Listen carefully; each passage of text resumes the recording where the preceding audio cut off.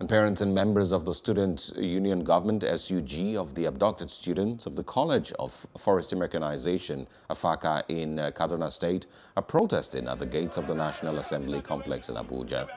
The protesters are lamenting what they described as the negligence of the state and federal government in securing the release of their children. They chanted songs in solidarity and displayed placards demanding prompt release of the students. On March 11th, 39 students of the Federal College of Forestry Mechanization, Afaka, in Igabi local government area of Kaduna State, were abducted from their hostels by bandits dressed in military uniforms. I born it nine months pregnant and I trained it for 27 years old. Just like that, they walk off bush on us five hours. Why? Make the whole government help us. Make una help us. It's 55 days today, get it to two months on Thursday. Make una help us. This one is too much. It's too much. Last year I said cholera. This year kidnapper. People were they supposed to don't great since last year. I better not gonna help us. Release our children. not quite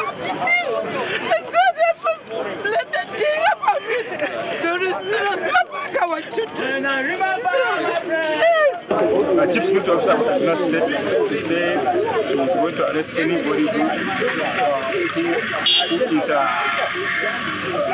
negotiating with the bandits. I think it is unfortunate and is that we are going to negotiate with them until our children are back. We apologize for any feeling, psychological feeling you have as a result of non-communication between you and the senator as well as the member of the House of Representatives. He is talking, they are talking with the chairman defense and some of us. They are with us like they rightly say. And we believe they are with you. But I know how you feel. For all this while that you are unable to talk to them, we accept responsibility and on behalf of the speaker and the security committee, we, our hearts goes out to you and we appeal to you and apologize to you in that regard. All hands will be on deck to ensure that this matter is put to rest. We've also immediately called the DG of FRIN, so he's going to see us in the next couple of days. Um, we're also going to use all our influence and oversight function to speak to the um, um, security apparatus so that we can put this matter in a closure. 55 days in captivity is no joke. Yes. So we empathize with you.